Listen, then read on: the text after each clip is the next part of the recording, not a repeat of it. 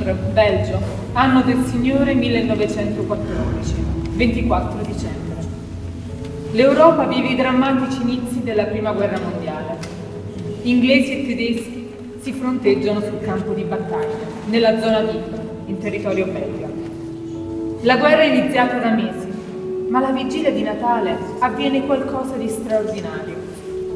I soldati tedeschi, nelle loro trincee, si apprestano a festeggiare, addobbando con materiali di fortuna. Intonano Stille Nacht, il canto più celebre della tradizione natalizia tedesca.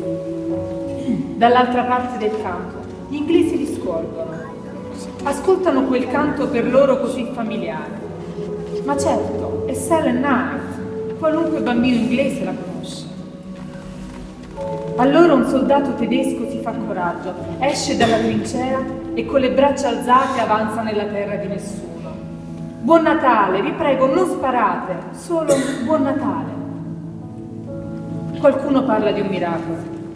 Forse semplicemente quegli uomini, nemici sul campo di battaglia, in quell'istante si sono riscoperti simili, uniti da un desiderio di normalità, di pace, di calore, di gioia, da mesi loro negati. E fu tregua.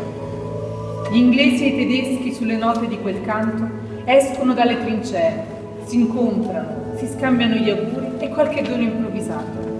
Bottoni, tabacco, tavolette di cioccolato. Giocano addirittura una partita di calcio. Si scambiano gli indirizzi per potersi scrivere, una volta a casa, una volta in pace. Già, la pace. Loro ancora non lo sanno, ma molti altri anni di guerra li attendono. Tutto avviene solo per una notte. Ma che notte? Qualcuno parla di miracolo. Sì, forse davvero lo fu.